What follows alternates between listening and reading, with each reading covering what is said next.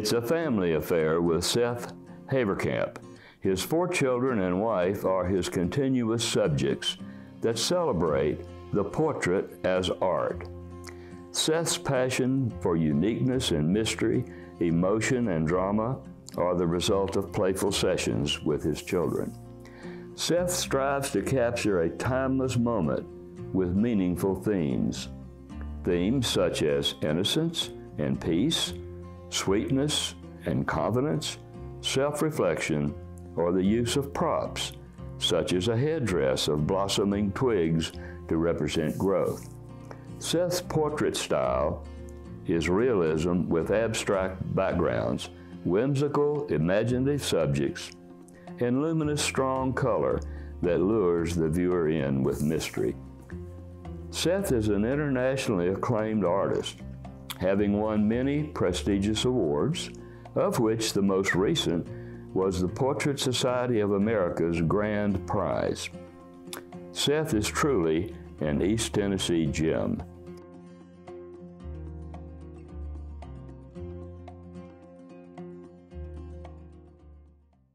Hello, I am Seth Haverkamp. I am a uh, full-time artist who lives in Norris, Tennessee, and I do strictly realism for the most part. Um, I do a lot of commissions and a lot of studio work that goes to galleries, uh, mostly portraits, but I also do quite a bit of still life and figurative work. And I've been painting full time since 2013, and what I do.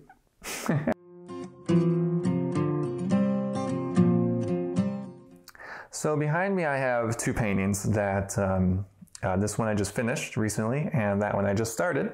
Uh, this painting um, I think it's pretty interesting um, just because it's so much different.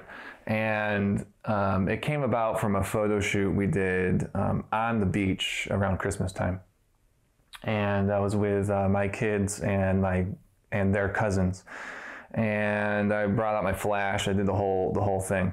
And the kids were like, "Can we throw sand?" I was like, "No." And I was like, "Well, actually, yeah, go ahead, throw sand." So literally, what this was was a product of taking like 100 pictures. And um, this is my daughter, who is who is a born actor, and she was being like a queen or something. Who knows what she was doing? Uh, and then the other kids are below, and they were literally throwing sand. And it was one of those just pure luck moments that I that I captured this moment um, with the sand just arcing just right, the light bouncing off the sand, hitting her arm. It literally missed her eyes as it went across. Just I, like I saw the photo, I was like, this is like too good to be true. Um, and I knew I was going to paint it at some point.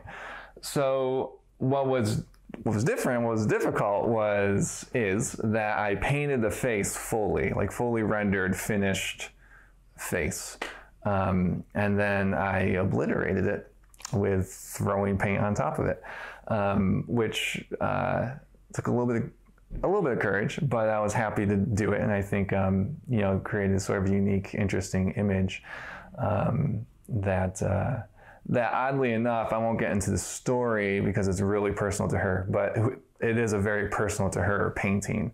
Like it really symbolizes who she is. The name is Split Infinity. I'll just leave it at that. And so what we have here is um, another daughter of mine, my younger daughter, um, and this is two days into the process. Uh, and you can see kind of how free and loose it is, as you know, loose, loose, loose, loose to you know starting to get tight and controlled as we move up to the face. And um, I really try to um, keep paintings uh, as loose as I can, as long as I can, and and let the drawing just kind of develop as I go. Um, I will never uh, spend eight hours at an easel just working on the drawing. Um, and, and, before I move on, I mean, I like to have fun when I paint, so I like to um, be really loose and free. And uh, when you see the demo I do, I think I'll, hopefully that'll come across as to what I actually mean. Um, but this painting, as tight as, as as tight and controlled as it is started the same way, really loose and free. And then through the course of like two months of doing a lot of layers, it, it gets really uh, tight and controlled. Um, but I do zoom into the eyes pretty quickly. Uh, they really are definitely the focus point of any portrait. And they also help me establish what needs to go where. So once I get one eye developed, um, I then know exactly where the other eye needs to be and I can then push the nose down to wherever it needs to be and just uh, expand from there. Also, I started to just introduce a few colors on the second stage that I will push um, much more as I go, and it'll become. I mean, I don't know where this painting is going yet, but there'll be a lot of colors uh, in the face. Um, and true to form, this has the warm light from this side and the cool light kind of from above. Um, that'll be fun to uh, push and um, you know really push the oranges and the reds and the warms and the purples and the blues and the in the cool side. Um, that's something I just really enjoy doing. Uh, some things I really like to focus on when I'm doing um, that are really important to me in a portrait is the is the face. Obviously, um, you know we want the likeness to be good. Um, although likeness isn't my number one goal, I guess I'll say that. Unless it's a commission, of course, it needs to look just like the person. Uh, but I oftentimes exaggerate a little bit, push things out a little bit, you know, whatever to to do what I think is is um, just maybe more even more unique than the individual, if if that makes any sense whatsoever. Meaning, if the painting is going along well, even though the likeness isn't perfect, I'll keep going with the painting um, and not try to make the likeness perfect. Um, if it's not a commission. if it is a commission, the likeness has to be right, of course. Um, and so I really try to do, you know, the fully realized face um, as well as the hands. I think the hands are also incredibly important. So just talking about hands, um, I don't think you can have a complete portrait without hands. And the hands, the gesture of the hands, uh, hands are just as unique as faces, and the length of the fingers, the you know the witheredness or the not witheredness, as the case may be, of the hand uh, I think is really interesting, and how a person is using their hands and what, what gestures they're making or what they're doing with their hands is all um, just I think really important and really fun to put into a portrait. And I also just enjoy painting hands. I like how detailed they are and how you can. Um, really uh, spend a lot of time with a tiny brush, really developing um, you know intricate little fingers. And so that's uh, that's really uh, important to me to get the hands in there well. Um, so what I want to discuss next is just a little bit of how I achieve the look I achieve in the portraits. Um, and that's through the use of uh, color. Um, I use very few colors on my palette, which we'll go over when I demo, but it'll, um, but it's basically bright red, bright yellow, bright blue, and bright purple and orange, cadmium orange. Uh, and that's pretty much it. And um, I like to use less color mixing and more pure color the right value of that pure color, meaning white, and overlap these intense colors to get sort of a, a, unique look. I paint with the concept that cool colors recede. So instead of just using a darker flesh color, whatever that may mean, as the as a shape rolls out, I'll actually use blue or green or purple um, to get that feeling of the form receding and put it in really brightly. Um, and then when that's dry, I'll scumble uh, different colors on top of that to downplay the blue or, you know, to um, mix, mix it. Uh, mix it's not the right word because it's dry, but, um, you know, model maybe is a better word, model the uh, forms. And noses are really fun. and My favorite thing to paint because there's so you know it's just such a quick there's so many quick changes. You know the nose just changes instantly. And every little facet of that nose can literally be a different color um, which is just really fun. And not only can be a different color but it can also be a, a different pure color with white uh, to um, to get that feeling of that three-dimensional nose like it's really coming off the page um, and to really start sculpting these forms uh, which we'll discuss a little during the demo as well. And then there's thick and thin paint. You know, there's a lot of thick paint where um, where the highlights are, where you're literally sculpting it. You know, it's it's you look at a quarter and George Washington's face or whoever it is is bouncing off the quarter. Why? Because it's sculpted. Same thing with painting.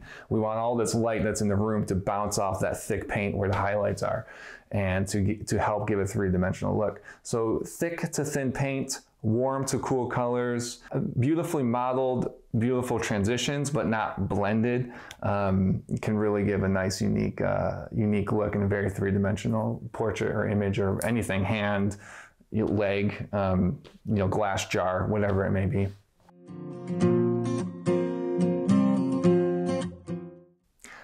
Um, so I need to discuss backgrounds a little. Uh, my backgrounds are um, I've heard the word thrown around as unique. I don't know. I don't want to say my backgrounds are unique, but that's what people say. um, it's really just a watercolor effect, but with oils. Uh, but they started a number of years ago when I realized that I really enjoyed painting portraits, but I did not enjoy painting backgrounds. And so I looked around my studio and had all these unfinished paintings because were, the backgrounds weren't finished. Um, and I just had very little interest in painting space and stuff at the time. Uh, and um, whenever I tried to fill in the space without doing that, it looked like, you know, uh, elementary school picture or something, or just bad, basically. And I was I ended, up, I ended up ruining paintings that were going along, coming along pretty well because I didn't know what to do with the background. So I was working on a really big portrait of I think it was my wife actually at the time. And then I was working on the background and I was having a very bad day. and it was not going well. And I think I was ready to destroy the painting. And I, I, I think, I, well, I almost did. I picked the painting up, I literally threw it on the ground.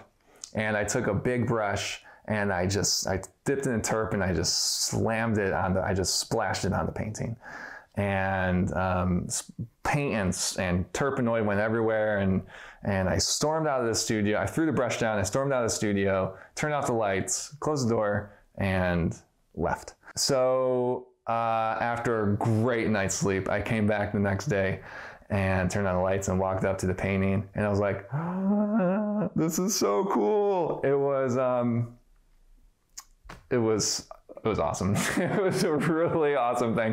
There were just these the the turp because I I had the paint on the background. The turp where it hit just spread out and created this really interesting bubbling and and it showed the painting from underneath. Um, and it, it just it was like an aha moment like you know there's something here i can do something with this and for that particular painting it literally finished the painting it was really just pure luck that that this happened um, so that was in 2009ish. So from then, I've been experimenting with how to develop this this splatter technique and the splatter approach um, to uh, uh, finish my paintings. Um, so it's pure, it's pretty darn abstract, uh, but at the same time, it doesn't turn a painting into an abstract painting because we have a lot to focus on there because of the portrait. But I think it fills the space well. It allows you to go in there and you know look at it closely if you'd like to, kind of draws you in. But at the same time, they're not too overpowering, hopefully, to where it distracts from the face. Um, and it's just uh, it's just built up from many layers of paint where I do glazes and then splash other colors in there, splash just turp in there, and, and build it up. And um, I've done paintings where there's you know 15 to 20 layers of paint uh, on the backgrounds. And um, so this is a you know pretty decent example. Um, it's kind of Milky Way-ish. Uh, it's really fun to you know paint the night sky with this uh, technique. And um, one thing that makes it work though is in the face, it's all these bright colors um, that get toned down through layers. And same thing with the background. So every layer is a, is a bright, pure layer, uh, but because it's a glaze, um, you know, the other layers show through and it kind of, you know, it, it tones itself down, but it, it stays connected because you, I'm using the same exact colors here that I'm using here. So it's been a really uh, fun. Uh, I love painting my backgrounds. It's been fun um, and a, I guess unique way to finish uh, portraits.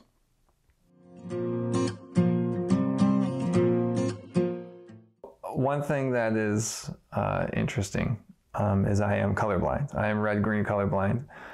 Um, hard to describe what I see because I don't really know.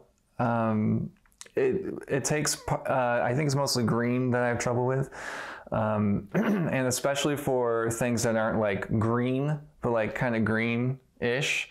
Um, uh, so things like kind of a middle value green, a middle value purple, middle value gray, even a middle value blue um, can all look like I can't differentiate them.